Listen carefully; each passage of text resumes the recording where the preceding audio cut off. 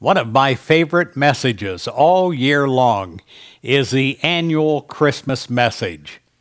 When I can talk with you and I can send through the television my love to you and your family and uh, thanksgiving that you're part of my life and uh, part of the positive Christianity family. How much I wish you a very, very Merry Christmas the best Christmas ever. I pray that you have a joy filled life. With joy, I share this Christmas message with you. I ask you to take a moment, one of stillness in the middle of your busyness, to bask in the spirit and the wisdom of this message. To counteract the countdown of this season. So many days until Christmas, so many days left until the end of this year. I decided to count up, and I ask you to join me. Count up, high up. A billion struck my fancy for this year's Christmas meditation. Now, this gave me a surprising perspective we are closer than I thought to that historic silent night of Bethlehem. A Benedictine monk once shared these words, and I share them with you. It was the inspiration for this. A billion, it has a nice ring to it. It feels good when on the tip of my tongue I say billion. But who could ever visualize such a gigantic number? Well, let me help you. A billion seconds ago, it was 1959. A billion minutes ago, Jesus was walking the roads of the Holy Land. Nature is lavish in its billions. There are not one, but a hundred billion nerve cells in one single human brain.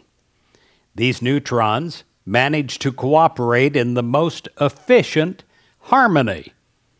They smoothly coordinate functions which are far more complex than the software of silver, the trusty computer on which I'm originally typing this message.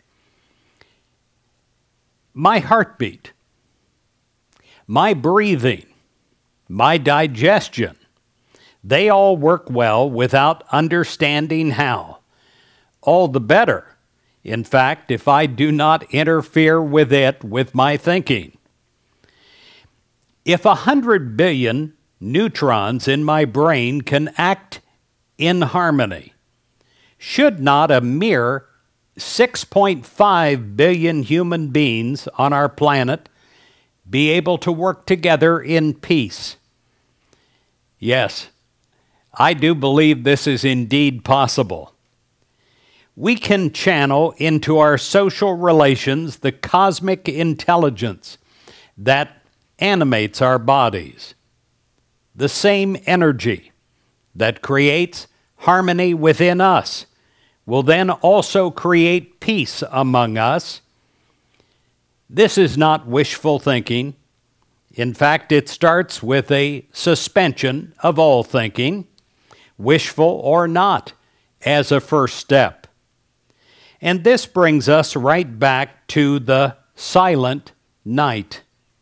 For silence is the key here stillness. In stillness, we can step back and watch the trains of thought in our own minds running in circles like toy trains under the Christmas tree. And the moment we set, step back from our noisy thinking, wisdom, infinitely deeper than thought, begins to act through us. Wisdom it is the only force that can counteract our countdown as a self endangered species. As soon as enough of us take this step back into stillness, the wisdom that guides the billion billion interactions in the cosmos will guide our human hearts too and will bring us all together in the peace that passes understanding. My dear friend, may we, through stillness, find this peace this Christmas time. This is my wish for you, and it is my wish for all of us. Merry Christmas, dear friend, from the Chenoweth family to your family, and God bless you.